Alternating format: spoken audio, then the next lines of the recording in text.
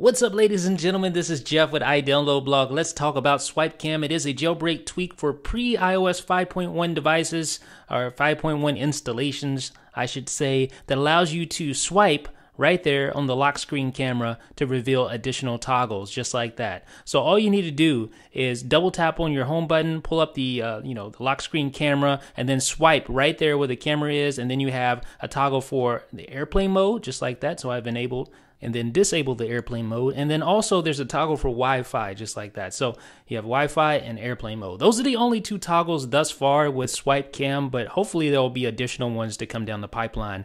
In the settings app, you'll notice this settings panel for SwipeCam, and it's pretty bare bones. All you'll notice here is this just a uh, kill switch for the tweak, and that'll disable or enable the tweak, of course.